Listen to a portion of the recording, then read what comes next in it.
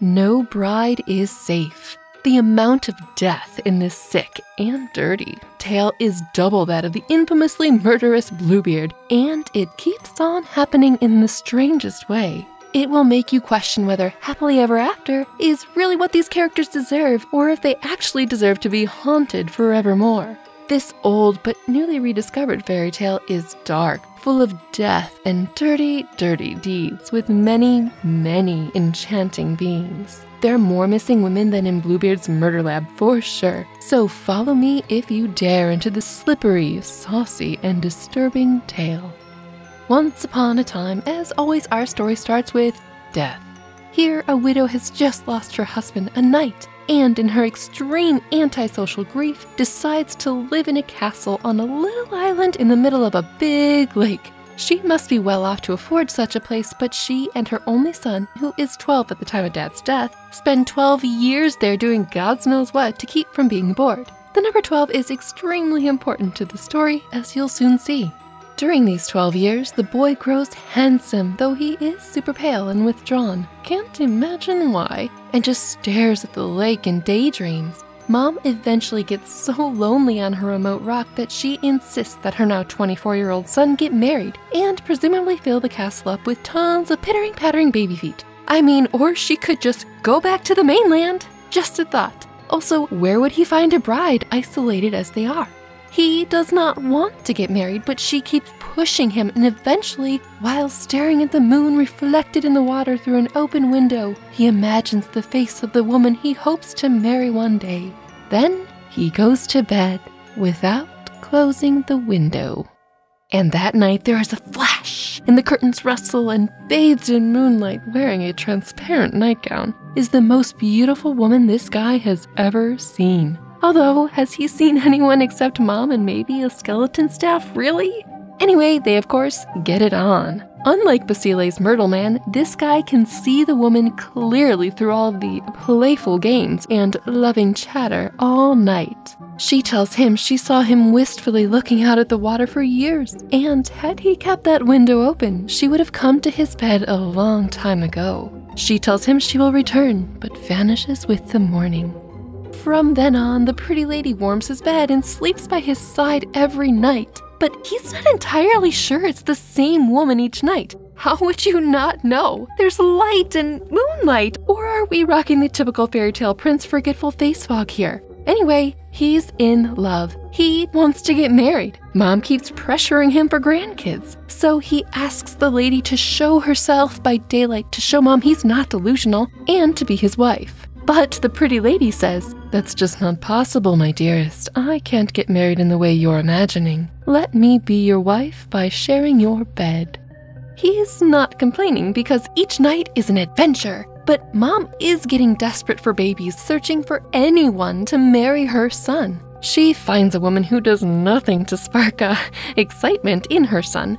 Doesn't matter, the son's still making someone sigh in bed every night, and the wedding date is set. This wedding is a three day ordeal, and honestly, the more days the better because it means our poor bride has one more day on this mortal plane. Day one is dancing, day two is a huge banquet, and on day three, well, night three, the bride is finally led to the bedchamber. The bed curtains fly in all directions when they enter. What a supernaturally imposing start! With trepidation, the bride gets into the bed first, as she's apparently supposed to do, but can't shake the feeling like there's someone already in it. The groom gets excited about her nervousness, probably thinking it's for the deed ahead, and climbs right into bed after her. Neither of them realize there's a freaking mermaid between them.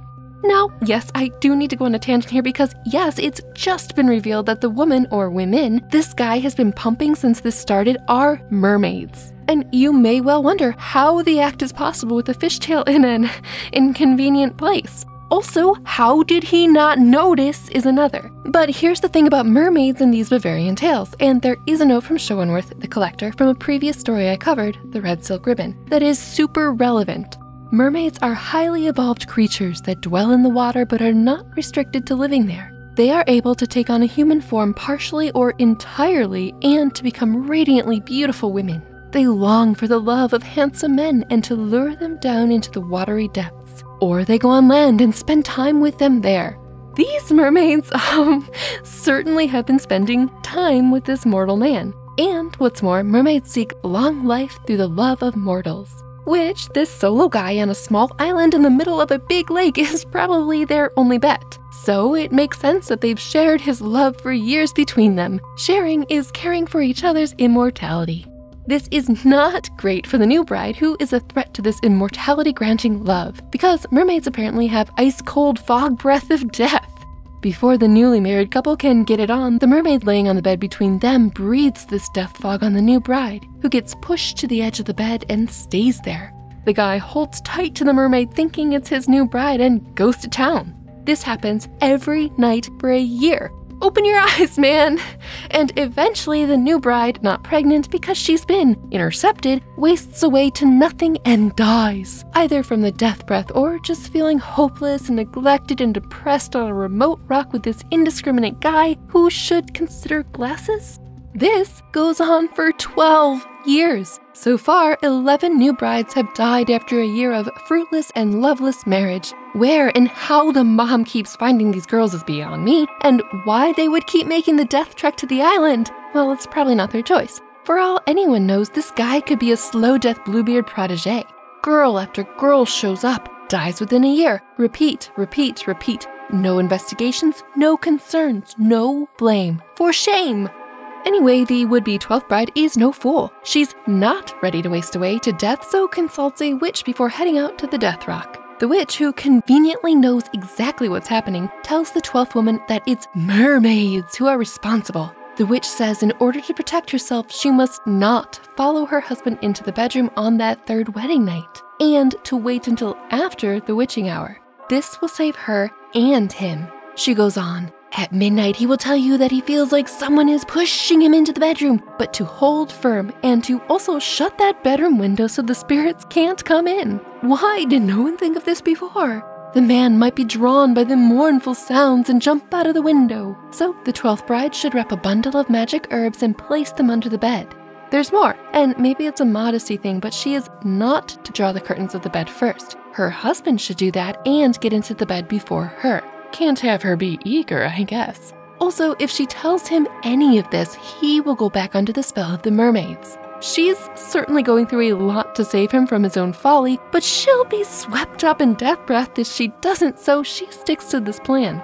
On the third night, the consummation night, the groom has an odd premonition and just has to get to the bedroom. He uh, may have a reliance on a certain act, which the story paints as being ensnared by mermaids. Anyway, the new bride holds back until after midnight. Once they are finally in the bedroom, as he opens the bed curtains, 12 sighs could be heard. Then the bride says some unknown to us magical words and prays to their god. Apparently, this guy hasn't prayed in 12 years. The lake rises high, waves hit the window violently, and there's some super strange, enchanting music coming from depths nowhere.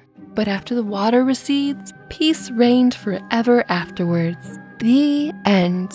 There's no mention if mom ever got her grandchildren to keep her not bored. My hunch is that she'll have, let's guess, 12? And it would be brilliant if each one was actually a reincarnated mermaid spirit from before sent to torment the castle and the people who let all those women die forever after. Or 11 and they're all the dead brides brought back for vengeance. How do you not look into suspicious deaths of so many and keep sending lambs to the slaughter? Where are all these poor women buried? On Wasting Away Death Island forevermore? That stinks! I hope they become the next wave of enchanting mermaids and no mortal can live in peace on this rock. Wait, that got dark. but no, this story has a happily ever after for the knight's son and his new bride. Well, there's peace for them at any rate. It's not a happily ever after for the previous 11 women or the mermaids who were just doing what mermaids do and happened to find an overeager and very willing participant in the Knight's Son. But this was the twisted old dark fairy tale 12 Brides from Schoenwerth's collection. It's a newly rediscovered tale, and I hope you enjoyed the telling of it. Is it worse than Bluebeard with the sheer doubled number of women affected? Bluebeard has five bodies and was about to do in a sixth, but this story has 11 wasting away slowly with no intervention or questioning by the man or his enabling mother. Was this actually a happily ever after? Do happily ever afters always have to be fair? Who gets to decide this? Well, with World Anvil, you do. It's the ultimate toolkit for any creative for world building, writing, artistic endeavors, even plotting out extensive campaigns on amazing maps. Not happy with this particular fairy tale? Well, you can set up your own isolated castle rock in the middle of an isolated big lake and make it your own. Or extend the ending to include those 11 brides' revenge. Just saying. These interactive map tools are so powerful. World Anvil is designed to help you create your own worlds and stories with ease and inspiration. You can track everything from world lore and geography to character motivations, family trees, timelines, subplots, and more in one secure place. You'll never lose a thread again. All of your creativity is stored in a wiki styled repository for you to access as you need it. And you can choose to share your creations with the world or keep them secret and safe, or tease piece by piece at a time to build the hype. That's right, you can monetize and publish directly from World Anvil in ways that suit your work to various platforms chapter by chapter, audiobooks, character hints, and more.